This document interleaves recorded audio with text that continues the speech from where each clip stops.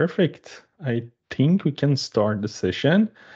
Uh, hello, welcome everyone uh, to another session of Azure Zero to Hero. We are happy that you joined our session and uh, you can scan this QR code to be able to uh, find social, all social media links, YouTube and Microsoft Learn link.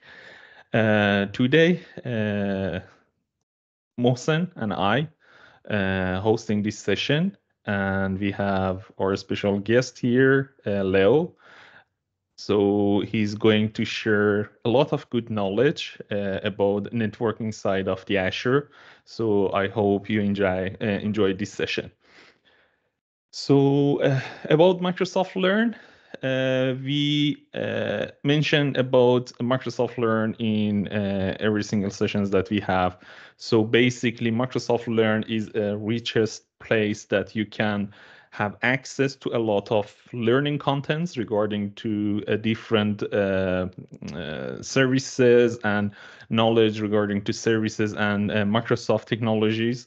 Uh, beside that, you have this option to be connect to experts. So you can ask your question, you can share your knowledge, and also you can use uh, a lot of benefits of, uh, of being a part of these uh, different communities that Microsoft Learns handle. So if you want to be connect to Microsoft Learns, uh, you can check out the link that we have here, aka.ms slash Microsoft Learn communities. And if you have any questions, please uh, contact us uh, so we can uh, answer your questions. So if you are beginner or if you are uh, already an expert, so you can be part of this big community. We are uh, uh, about 2,000 members together. So it's a big community and it's a good opportunity if you want to share and learn together with us we have our code of conduct. So we expect that you be aware of the others, be friendly and patient, be welcoming and respectful. Also, be open to all questions and viewpoints, uh, understanding of differences, and be kind and considerate to others. So now I hand over this session to Leo so Leo, please start your session and we will enjoy the contents that you are going to share with us. Good luck, man. Thank you very much. I hope everybody can see the slides. Yes. Yes, we Good. can see. So uh, it will be a bit of a challenge because there will be a lot of live demos. So I need to change my screen a bit, but we'll see how it goes. Um, thank you for having me and everybody um, in the chat and in the live stream, welcome. And everybody who looks at this later, still welcome. I hope you enjoy this. So the talk I want to give today is It's Always DNS. And we're going to talk a bit about the cloud native DNS resolver. Before we do this, a little bit about myself. I'm a cloud consultant at OGD ICT Diensten in the Netherlands. Um, very recently, I became a MVP for Azure Networking and Security. I'm also a core infrastructure expert and a consultant for hybrid environments. And if you want to know more about me, you can find my blog and my socials where I post stuff about networking, DevOps, and whatever I like to write about. So today I want to go with you through Azure networking. And we're going to start a little bit about what DNS actually is, how DNS works in Azure, how it works in a hybrid environment. Then we're going to look a little bit about to what a split horizon DNS is. And in the end, we're going to see how this private DNS resolver fixes a lot of the problems we have. When I created this talk, I noticed that a lot of colleagues and people I work with found DNS quite scary, especially also when um, doing lessons like uh, the AZ700 or the AZ800 exams. When teaching these um, lessons, I noticed a lot of people found the DNS part quite scary because often when we discover problems in our environments, it's kind of the reason it's kind of the fault of DNS. And for a lot of people, it's a bit of a black magic box. So with this talk, I hope to demystify how DNS works and how the DNS in Azure works, because the more stuff we add to it, the more complex it becomes. So what is DNS? Very easily said, DNS is kind of the phone book of the internet. In the inter on the internet, if I want to go to any resource, I need an IP address. Like you see the IP address below. I like to introduce some puns, so sorry for the punny IP address. Um, I can tell you it's not the IP address of my website. I would love it to be though. So if anybody knows who has this IP address and if it's for sale, I'm uh, I'm all ears. Um, but what it does is we take a URL, like for example, the website you see on screen, and a DNS server will translate this URL into a IP address. And this IP address I can use to actually find the resource I'm looking for. Because the internet, to navigate it, I need these IP addresses. The URLs are nice. They're nice for us to remember as humans but I need the DNS protocol, the domain name system protocol, to actually find these things.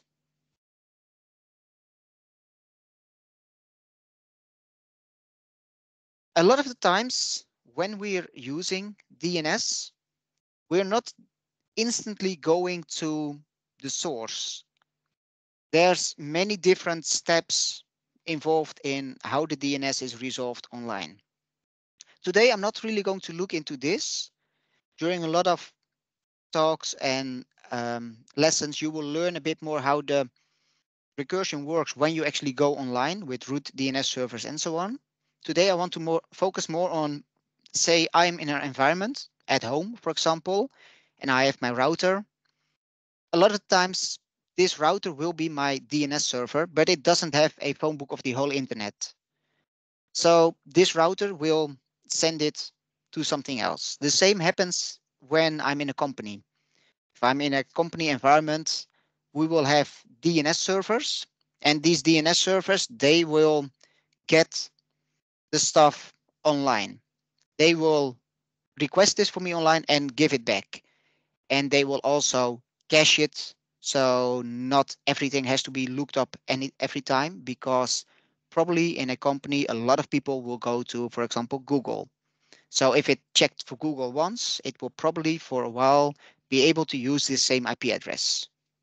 Although lately this is becoming more and more of a um, different case due to all the load balancing and stuff happening. But still, we can use a lot of caching. And I've explained this many, many times. And a while ago, I was like, I've explained this a lot of times, but I've actually never seen it happen. Um, so the first thing I want to do with you now is just look at how this, what we call recursion, uh, happens and what's happening uh, in the background. So I'm gonna now share my screen with you and let's hope this works. Yes. So um, I've got a virtual machine in Azure and I've got a DNS server in Azure. And I've got these open. So here I'm on a virtual machine. And I can, for example, do ipconfig all and we'll see that it has a DNS server set to a specific IP address 10.10.0.4. I can also go to a server here. I can also start PowerShell over here. If it wants to start, one time is enough.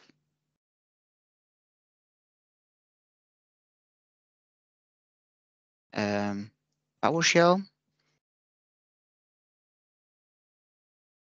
And this one should be the 10.10.0.4. So what I'm going to do is I'm going to query a specific name. I'm going to query server01.demo2.autosysops.com and I'm going to query www.microsoft.com. And I'm going to check what's going to happen. To check what's happening, I'm going to use the tool which is called Wireshark. With Wireshark, I can capture what's happening on the line on my network. And I'm going to add a filter called DNS, so I only see the DNS traffic. I'm going to do the same on the server.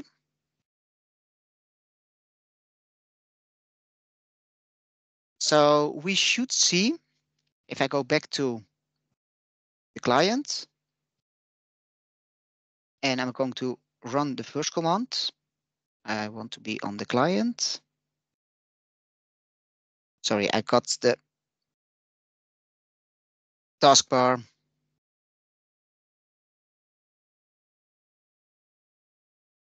Not showing me the right taskbar. So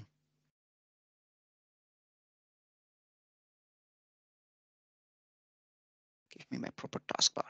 Let's do it like this for a second then.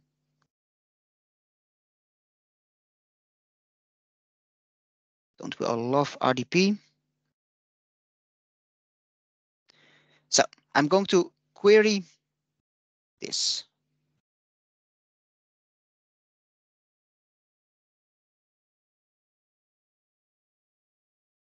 And I'm going to query this. Now it's really annoying. I can't see this taskbar.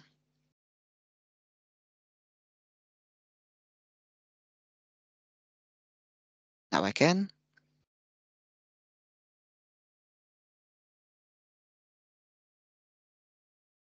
And some stuff happened in between.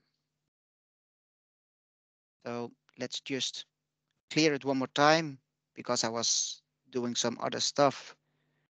So we can really see what's happening.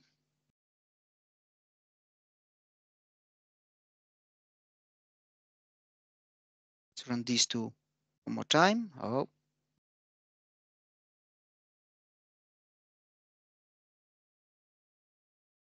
and let's stop the capture here and let's stop the capture here and then we're going to look what happened. This we can um, ignore. It's the telemetry of Microsoft doing stuff. So we're seeing a query going to server01.demo2.autosysops.com and we see a response and we see a query and we see a response. We see it has a source address and a destination address. So we're sending it to the 10.10.0.4 and we're getting it back from the 10.10.0.4 and it's sending it to the 10.10.05, which is this machine. So this is uh, what's happening with DNS. We're sending a query and we're getting a response back. And inside the response, it shows us the IP address. So it shows us what the IP address is of the machine we're looking for. On the server, zoom in a little bit more. We have the telemetry, which we can ignore. So we see the server 01 happening and we see the instant response. But also we see the query from Microsoft. And there's something else happening. There's something in between happening here. And then it's sending response back. And there's something else in between. It's the recursion which is happening.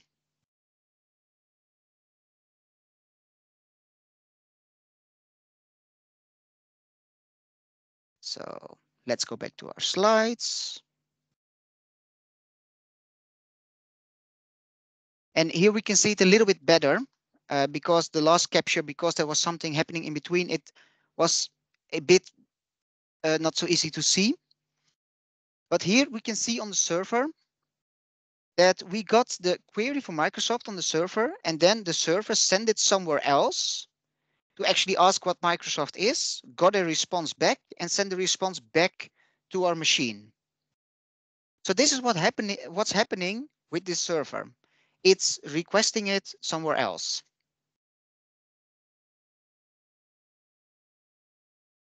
So that's the first thing about the DNS. But now, um, when I'm in Azure, there is something called the Azure DNS. If you're looking at documentation and other stuff, a lot of times they're talking about Azure DNS and they're talking about this IP address 168.63.129.16. It's a very important IP address when you're working with Azure. If you see this IP address, you know you're talking with the Azure DNS. And although it is a public DNS or a public IP address, it's not in one of the private ranges. It is kind of private inside your Azure virtual networks. You can have a mach machine, go to this IP address and resolve stuff inside your Azure environment. So let's go back to sharing the screen. Second, let me close this one so it doesn't pop up. So when I'm in Azure and I link machines to a virtual network, they are added to the Azure DNS. So the Azure DNS will know, for example, this ACL Win01, and it will know this ASV DNS01. Azure DNS knows these machines, but um, it's it's not always accessible easily, and we'll go, we get into this. But I have a machine over here. At least I believe I have a machine over here, which also doesn't want to show its taskbar properly. So let's also add a scroll bar. And on this machine, if I do a ipconfig all, the DNS server you see is set to this IP address we just noted. Um, when I create a virtual machine in Azure, on default, this IP address will be used for the DNS server. On the previous machine, I configured it to use the DNS server I created in Azure. But on this machine, it created a, an IP address or it created this DNS server by itself. So if I'm going to now run Wireshark on this machine, let's zoom out a little bit and filter on DNS. And I'm going to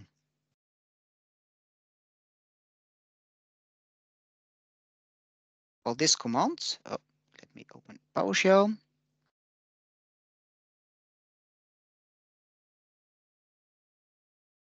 It will show me a response. And here we see that it sent it to this IP address, the query, and I've got back the answer. So this Azure DNS clearly knows at least some things because what we were querying was the server 01.demo2.autosysops.com. So it does know it and it can return it. And I could also, for example, ask it to um, show me Google or anything else, and it will return it.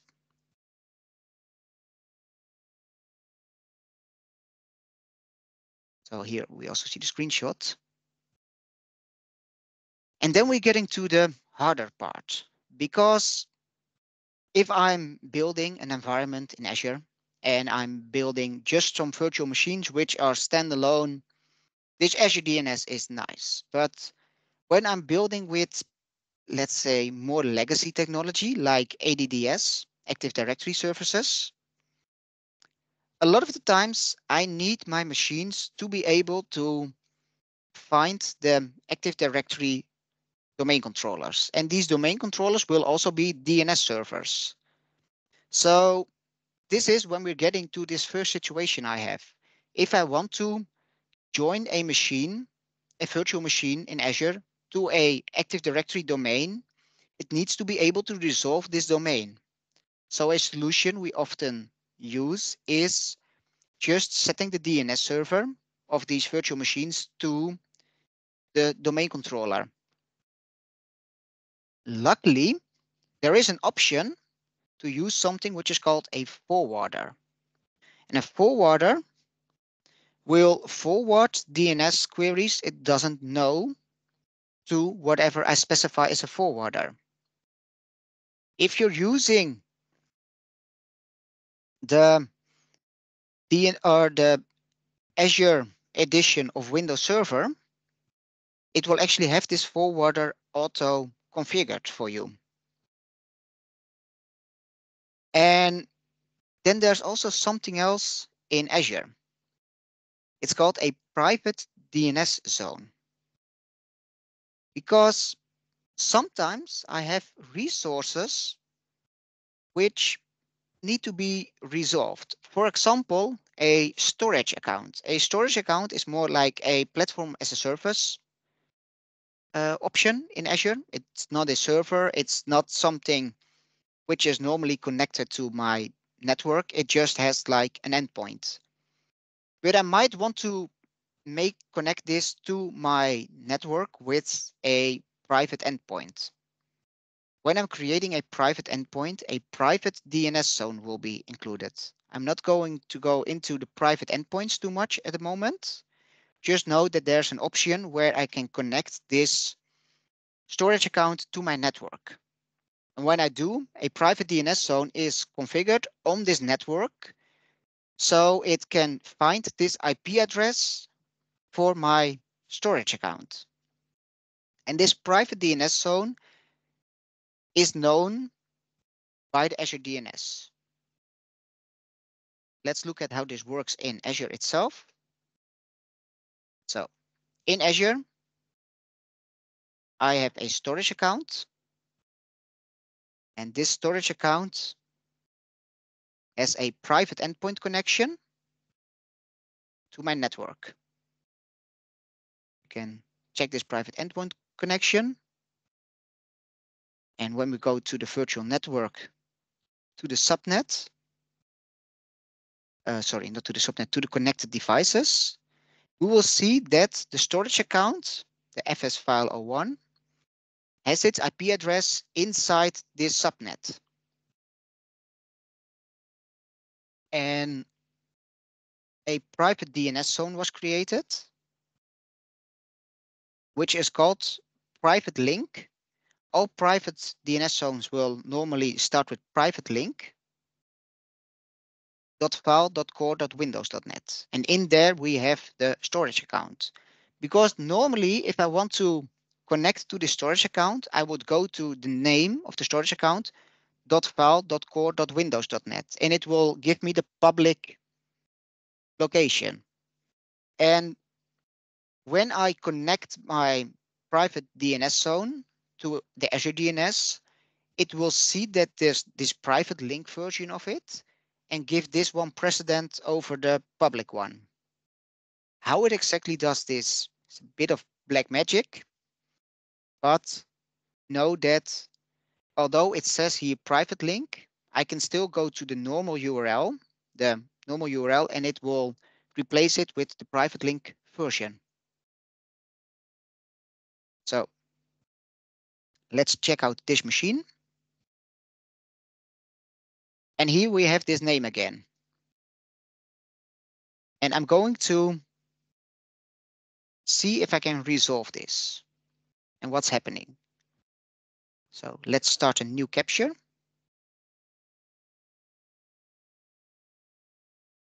So it gave me back this IP address, the 101006, which is correct, which we saw in the thing. And we see that it sent it to the DNS server and the DNS server send it on. I think I accidentally also had to capture. Oh no, we didn't have to. And how did this happen? Well, on this DNS server, I can go to the properties of my DNS server, and here I have my forwarder. So if we look in the forward lookup zones, there's only two forward lookup zones, and none of them were what we were querying. So this DNS server was like, I don't know it. And when it doesn't know it, it will use this forwarder. And because I'm using the Azure edition of Windows Server 2021, 2022, not exactly sure which one I'm using. Um, this IP address was automatically set for me already. So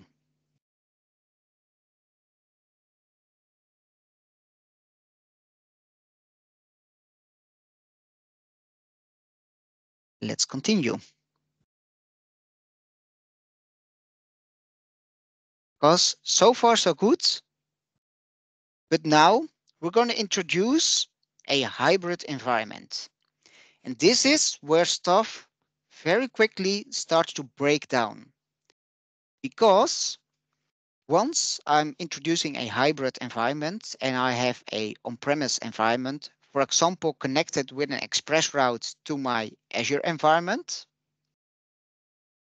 I need to be able to resolve these DNS queries, for example, this private DNS zone, also on premise. If I want to connect to the storage account on premise over my express route to secure the traffic, I need to be able to resolve this. But this IP address is a public IP address.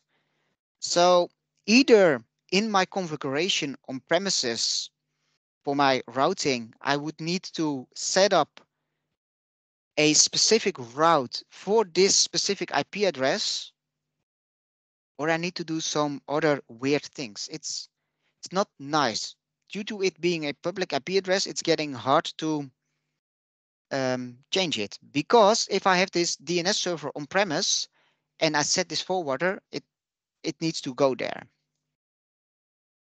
So the solution we often use is on premises, I create a conditional forwarder to my DNS server in the cloud, which has a forwarder to the Azure DNS, which then can find the private DNS zone. This is what I see at a lot of companies and it works, but it requires quite some maintenance and it makes my DNS infrastructure quite complicated because if a user on premises is querying the storage, storage account, for example, it goes through multiple different steps which can all go wrong and will all go wrong because we're talking about DNS. And then things become even more interesting because there is this th thing called a split horizon DNS. Many companies have a domain, a, a Active Directory domain or whatever, and they use, for example, their website. In this case, for example, I can use a domain called autosysops.com, a publicly routable domain. Or maybe I just want to host some web apps in my environment and I want to allow users when they're in my corporate network to use an internal route to this web app and people from the outside, I want to be able to use a public route to go there. So I will have the same URL for example, this web app or website or whatever, But depending on where you are, the route will change and the IP address you need to uh, reach it changes. This is what we call a split horizon DNS. Because in this case, what's happening is that in my network, I will have a DNS server, which has the private route, the internal route, and somewhere in the cloud, somewhere online, I will have a DNS server, which will has which will have the public one. And depending on my connection, I will get either the public or the private one. But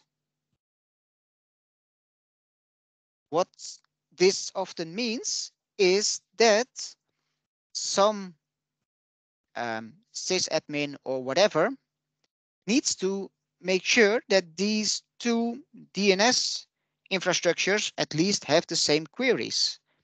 And when something migrates, they are both changed. So a lot of copy pasting is happening. I've seen it so many times that we migrate a web application or whatever, the public DNS records are changed, everything works during the weekend or whatever. On Monday, people arrive at the office and service desk gets swamped with calls because they can't reach the web app anymore because somebody forgot to also update it in the on-premise environment because it also has a new IP address. Or maybe it should now go to the public version instead. There's no private version anymore, and it's still referring to the private version which doesn't exist anymore. This is a problem we often see. There's reasons, uh, there's solutions to it. We can use automation tools like PowerShell to deploy the DNS records to the servers. We can make sure we use infrastructure as code to make sure all our machines are referring to these DNS servers and they're deployed. It kind of works, but in many companies which are a bit bigger, we don't have one team which manages the Azure, the DNS, the machines, and so on and so on. And I found it quite often that the team which was managing the Active Directory domain was a different team which was, for example, managing the cloud platform, the deployment of applications and whatever. And this team which deployed the applications they needed to change these DNS records. So they needed a way to then deploy these DNS records to the DNS servers, which were often also used for the domain things.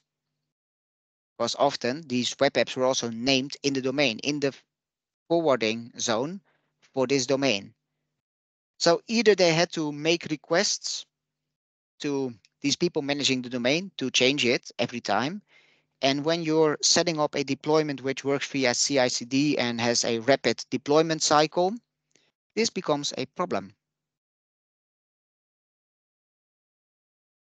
So, private DNS resolver to the rescue. At least we hope.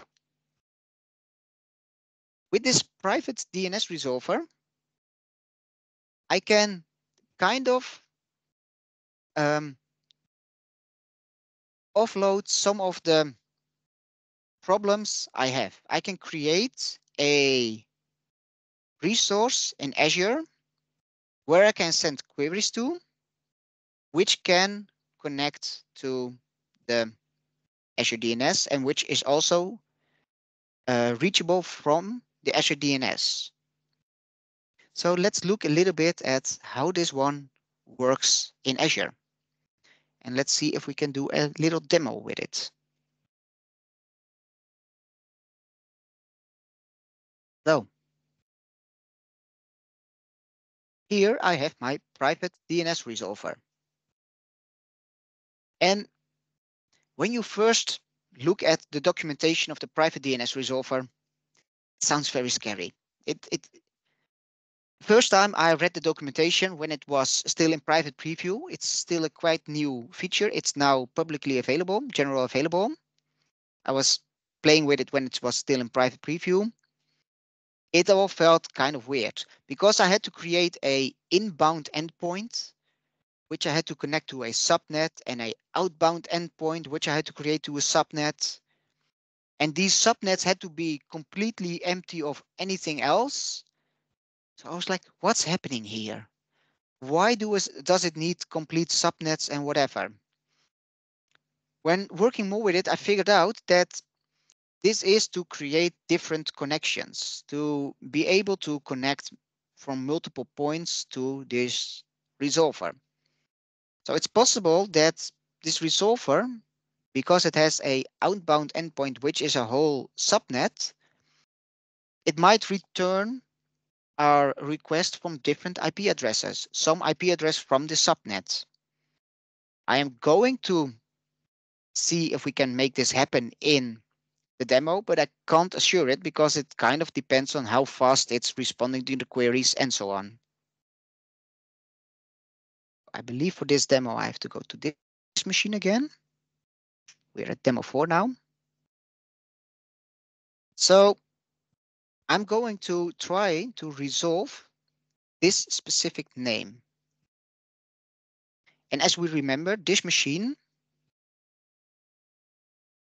um, was connected to the DNS server, which is the Azure DNS. Oh, sorry, wrong minimalize. But this name is not a name which should be known in Azure because if I go to the DNS server, I believe it's in this one.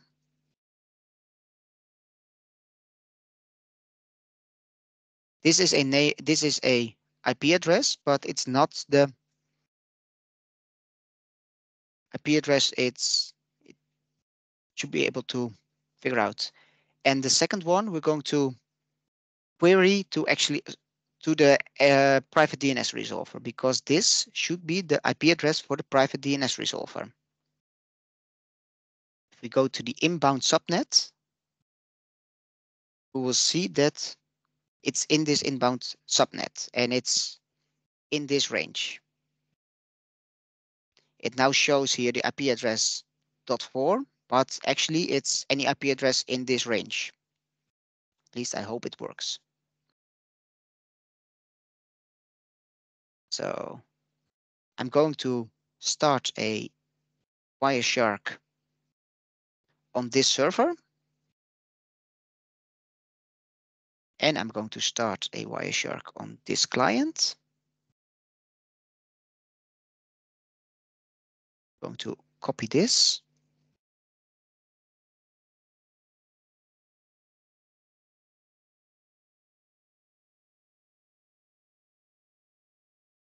We see we got both times an answer. Let's stop the captures. And let's see what happened. So we sent a query and we got back a response. We send it to the Azure DNS and we got back a response from the Azure DNS.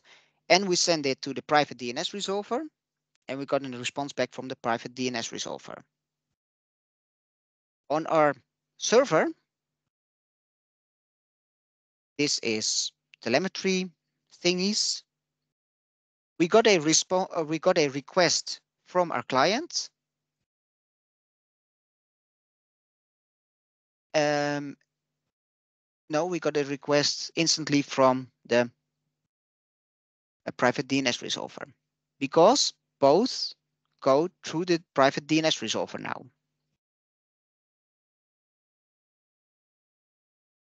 As we saw in the sheets, the private DNS resolver can talk to the um, Azure DNS. So we send it to the Azure DNS and the Azure DNS send it to our private DNS resolver. And it does this by its rules. So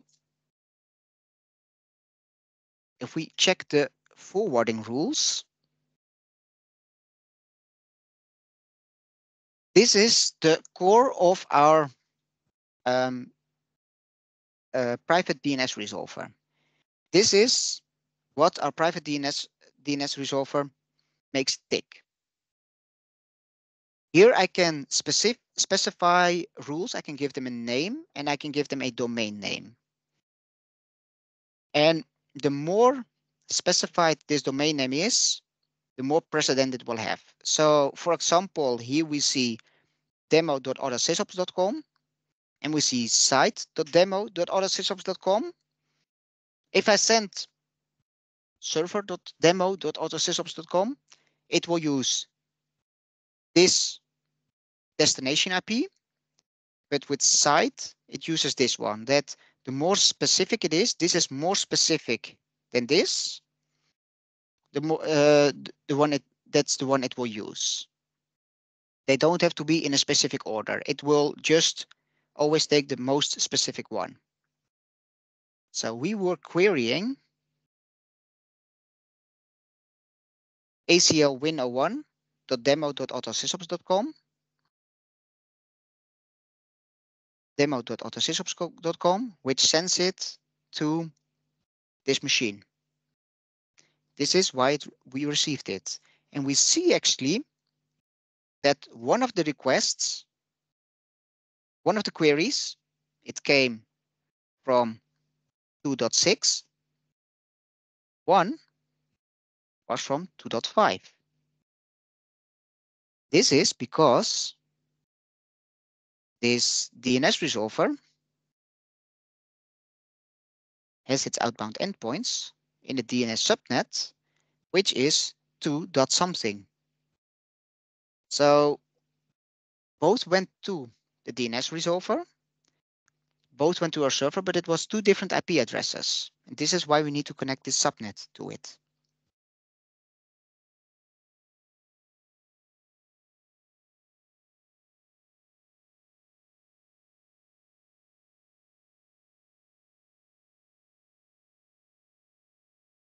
Here we see it again in case, for example, something goes wrong.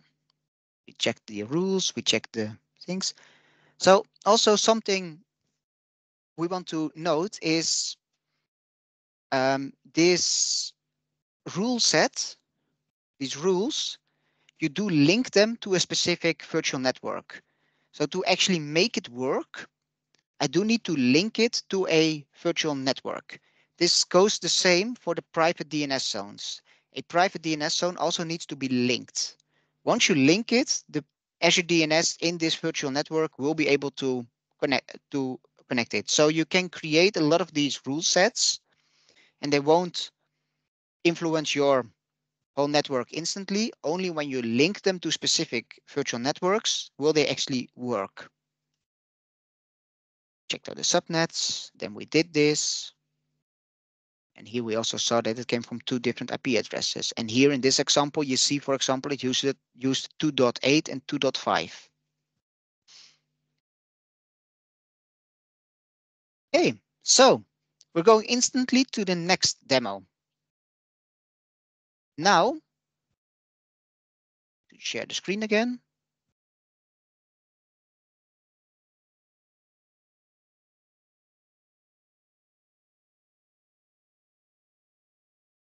Now I'm going to resolve just the word site. And if I do a IP, ipconfig all,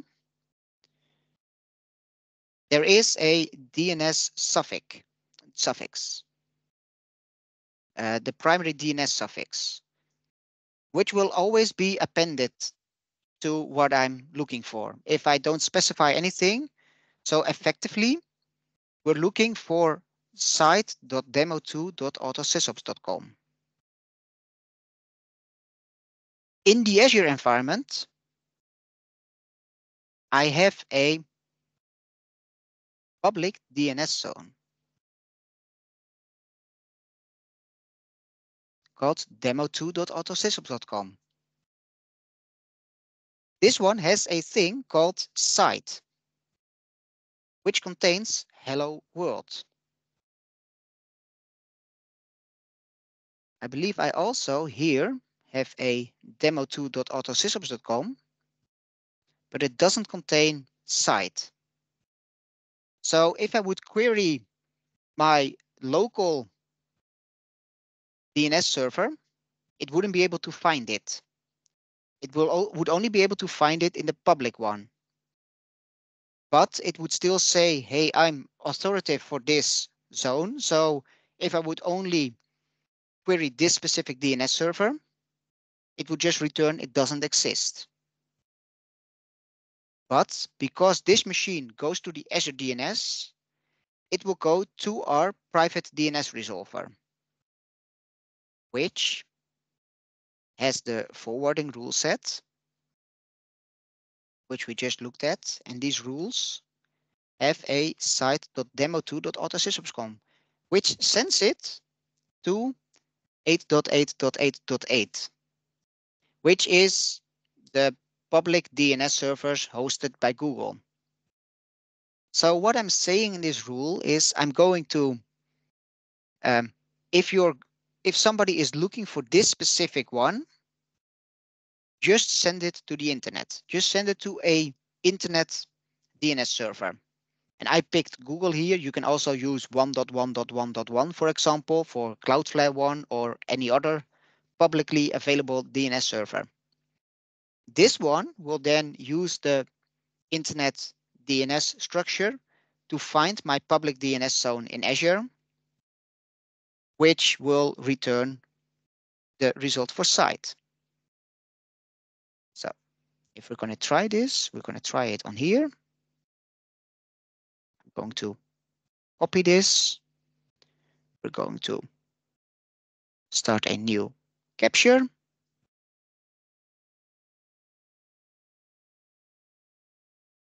Uh, sorry, I need to open PowerShell. Let's clear it, call it. And you see, we got the answer, hello world, back. And also in here, we send it to the Azure DNS and the Azure DNS responded. And the Azure DNS made sure it was effectively sent to our public DNS zone for demo two, which returned us hello world.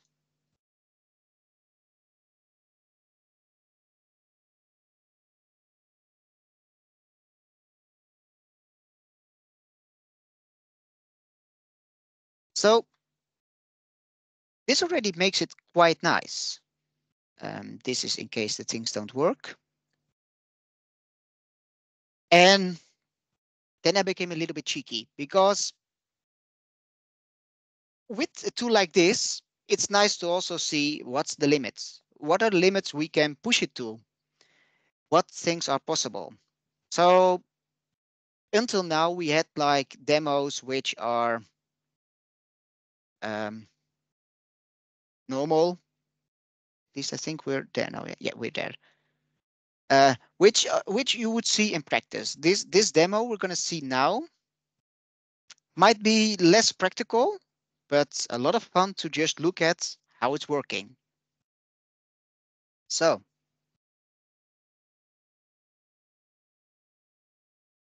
from this machine, I am going, and you might already see it on here. It might fail, but hopefully it will work. I'm going to query clients01.demo.autosysops.com. And I'm going to specifically send it to the forwarder. I, I don't have to specify this, but it's nice to specify it so we can see it in the captures. So demo one is hosted on this server. Um, which now also made me lose my taskbar. Here we've got demo. Um, I said demo one, but it doesn't say demo one. It just says demo. Sorry. So here we have client one. Client one is a alias, a CNAME. it's a CNAME for ACL Win01, which we also have over here. But we also have our forwarding rule set. And in our rule set, something special is happening because in our rule set, we specified that client 01 should be sent to the public DNS. So let's see what's happening in the public DNS. Let's keep this one open so we can compare it easily. Here we also have a client one, which also has the CNAME. So it has the same record. I copy the record to both sides. But you see here, I provided a CNAME record, which is not in the public DNS. But still, if we're going to do this, you will see it works. And afterwards, I'm going to explain how it works. Maybe some see it already, but we can try. So I'm going to start a capture on this server. I'm going to start a capture on this client. I'm going to copy this and then pray to the demo gods it's all working. At least we got an answer back. Let's quickly stop the capture so we don't get anything weird in there. And now let's see what happened. So we sent the query twice. This was due to some weird things, but ignore that we sent it twice and we got a response back. We got a response back which says there is an IP address. So we got an IP address 1010.05 back.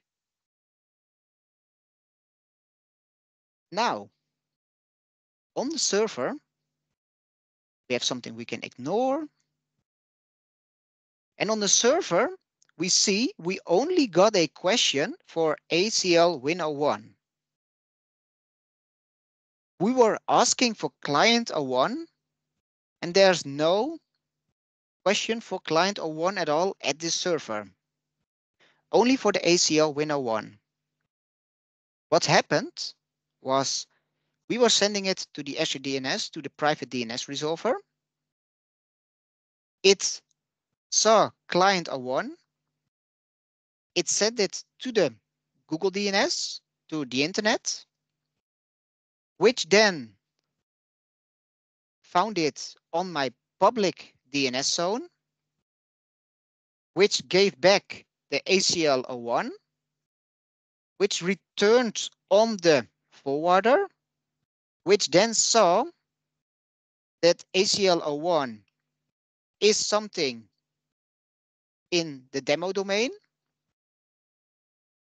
So then it sent it to the demo domain, to the 101004, the server, which received it, send the, send the response back to the resolver, which then saw I've got an IP, back, IP address back and send it back to my client to give a response.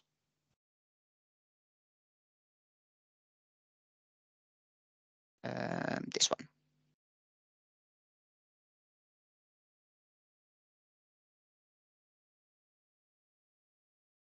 So there was a lot of steps happening at once. But you see that with this resolver, we actually have a lot of possibilities. I could make a whole weird chain. I don't want to. I want to simplify it as much as possible. But you see, it's possible. This is in case it doesn't work, which often it doesn't. But this time it did. So Closing off, with this private DNS resolver, I have some very interesting advantages because this private DNS resolver can be deployed by infrastructure as code, including these rules. So what it means is I don't have to go to a domain domain controller or whatever and create the rules in there to make sure the forwarders are set up correctly and so on. I can just make sure that all my machines in Azure use the Azure DNS. I don't have to set up any weird custom DNS settings, even if I want to domain join them, because I can just use this resolver to make sure that if they want to go to this domain, they are sent to this domain controller. And if not, then not. It also has a IP address, which I can define. So on my on-premise environment, I can just specify this IP address if I want to and have things sent there or use a forwarder on-premise if I want to have less data traffic going uh, between my on-premise environment and my cloud environment. So I can create some split management. And this makes it that I can better split out different delegations and make sure that in this way people can manage my DNS environment better. Of course, it wouldn't be Microsoft if there wouldn't be pricing. I think these prices might be a little bit outdated now. Um, not sure. The prices change all the time, but there still should be at least around this uh, amount, maybe a little bit higher, maybe a little bit lower. It also depends on the region you're in. These were the prices for West Europe, I believe. And you see that a private DNS resolver itself is um, not that much, but you need the inbound and outbound endpoints. Technically, I believe you can make it work with only inbound or outbound endpoints but you do need to look up the limitations if you want to go this route and maybe save some money on there. Um, most cases, I think you would need the inbound and outbound endpoints. And you would need to pay something for the rule set. These amounts look quite hefty. It's like um, at least like almost uh, 320, 330 a month just for the endpoints. But don't forget that often if you're setting up DNS servers in the cloud to handle this, you want to set them up at least redundant. You want to set them up on bit better virtual machines. So it's quite easy that you have a virtual machine which is already like 150 a month. You have two of them. You have some more. You're getting in the same ballpark for the pricing. And this gives a lot of options. There are some limitations. One rule set can only have two of uh, 1000 rules. So if you're getting with very big complex environments, you might need more rule sets.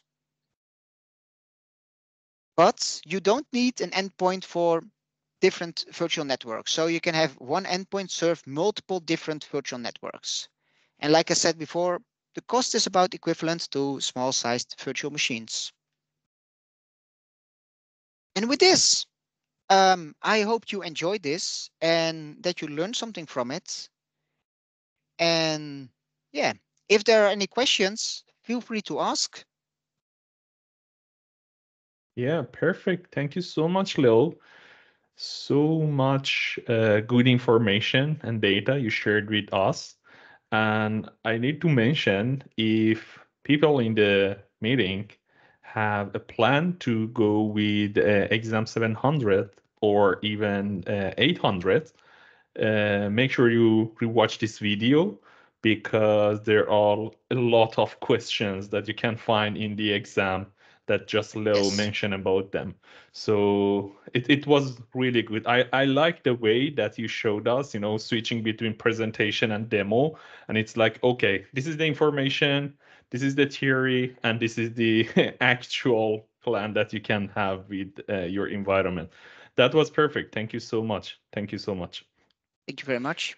Yeah. Uh, if there is any questions, please uh, send to the chat or use raise hand option so we can open your mic. You can ask your questions directly uh, from below. Uh, regarding the question that they ask regarding to the, the recording, yes, uh, we upload the recorded session to our YouTube channel and we will share the link in our social media and Microsoft Learn channel. So yeah, uh, you will have the recording session.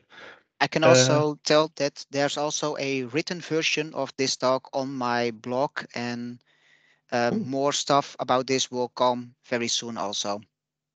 Amazing, amazing. Looking forward to read that. it will be in, I believe, the Azure Back to School. I will send uh, write a new chapter of this. Yeah, sure. Uh, they ask about, uh, yeah, they've seen it. Ask about the blog, uh, blog address. So yeah, it's inside the presentation. I believe it's on screen now. Yeah, yeah, yeah, yeah. They can yeah, see yes. it. They, they found it. okay, cool. Uh, is there any questions? You, Mohsen, have any question? No, that's great. And other people have a question, uh, they can raise hand. Uh, I think uh, uh, we have a one question. We have two questions actually. Yes. Though, so can ask, we use can a coding GitHub code? link? Ah, go ahead. Yeah, okay. Can we use a code in GitHub link to make some test and video to uh, post on LinkedIn or for example? I think this is a question for you regarding the demo things. Yeah, um, I don't know from the top of my head how much codes on there is on GitHub about this specific one. Um, but always feel free. Everything on my GitHub is MIT licensed, so you can always use it without any problems, but also without any help, which kind Amazing. of means MIT. Um, I believe the sheets are also somewhere on my GitHub, so you can actually the this slide deck I used or a version of it should be on the GitHub somewhere if you look for it. So feel free to use it if you want. Sure. And there is another question, uh, which is actually a good question. How did uh, we use Wireshark with Azure? Yeah, um, there are many different ways to use Wireshark with Azure. Um, what I did, I just uh, had the virtual machines in Azure and just installed Wireshark in these virtual machines and run it just like you would on any machine. There is also the possibility to use um, the built-in kind of uh, uh, capture in Azure Monitor, where you can use a, a network interface card, a NIC, and capture data from here and get it in a format which you can open, for example, in Wireshark. But like I said, I just installed Wireshark on these machines and run it on there, and that works. I wouldn't recommend this doing in a production environment though. Many security officers won't like it if you install Wireshark on a production machine. Yeah, like having a sniffer machine in their environment. okay, there is there are two more questions. Uh, can the you please provide a bit? Yeah, yeah, can you please provide a bit of knowledge about any software you are using? Um, can you, for the person who asked this question, can you specify, I'm using a lot of software for many different things. So can you specify more? Do you mean, for example, in like a network uh, inventory or network uh, investigation or what, what kind of software are you looking for? Maybe it, they will answer in the chat. Yeah. Also, there is a question uh, from Ahmed. We offer internal and internship demos. Can we use your material without any uh, infringements? Infringements. Yeah, infringement. Yeah. Um, um, I believe the slide deck is on my GitHub on MIT license, which means you are allowed to use it in whatever capability you want, uh, commercial or whatever. Just also know you will have no support from me. So, of course, if you have any questions, always feel free to ask on LinkedIn, Twitter, or X, we need to call it nowadays, or whatever. But can't make any promises on this. But feel free to use it. I won't um, um, complain about it. If you want to do a talk on a conference and you're submitting exactly this talk, I wouldn't be happy about it, but yeah, I can't yeah, it's, you. it's always good to mention about, you know, yeah. to author. yeah. Okay, cool. Uh, I'm not sure if we have any more questions, but yeah, I think we can wrap up this session. Perfect. Uh, thank you so much again, Leo, uh, regarding this meeting and all of knowledge and experience that you shared with us. And yeah, hope to see you uh, in the other session next week, Saturday. So take care. Have a great evening, night, morning. And yeah, wish you a great week and weekend. Thank you very much, Lee. Thank you, Say. Thank you, guys. Can we also have a big applause from the chat for these guys organizing this? Uh, sorry again. What did you say? Can we have a big applause from everybody still here to for these guys who organized this? Oh, okay. This organize this oh, awesome community. I saw some applause already. Thank you. Thank, Thank you so you. much. Thank you. Okay, cool. Take care, everyone. See you soon. Bye bye.